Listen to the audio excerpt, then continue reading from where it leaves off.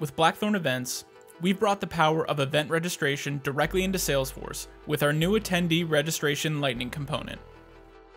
This feature will allow you to create or cancel a registration directly from Salesforce without having to navigate through a number of event, lead, contact, and attendee records. And the best part is that it works with all events, free and paid. A perfect use case for the registration lightning component can be found in the healthcare industry. If a patient or community member calls in about a local healthcare program or event, the receptionist or agent no longer has to transfer them or take a message. Instead, they can pull up their information or create a contact in Salesforce and register them for the program over the phone. This helps eliminate call routing and time wasting for the receptionist and breaks down the barriers to registration for patients and community members. So let's see it in action. This Lightning component can be added to multiple record types, including contact, lead, person, attendee, and event Lightning pages. Let's add it to this event page. Navigate to the setup menu and click Edit Page.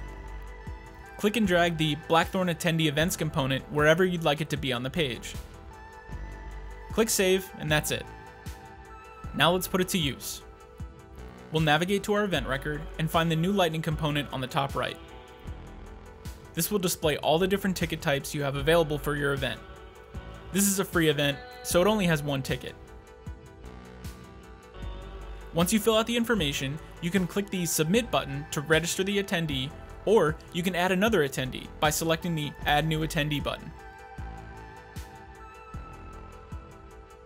If you're adding an attendee to a paid event, there will be a third tab called Payment.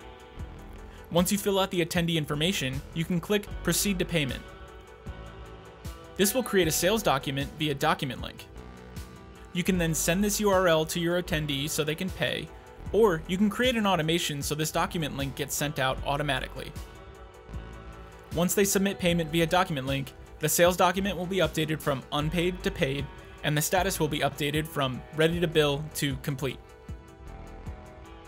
If you need to cancel a registration, navigate to the contact or lead that is associated with the registration, and make sure the Lightning component is added to the page layout. The events they are registered for will populate the component, and you can simply click the icon to cancel the attendee's registration. This will then update the registration status on the attendee record to canceled. To learn more about the registration lightning component and Blackthorn events as a whole, find us online at blackthorn.io.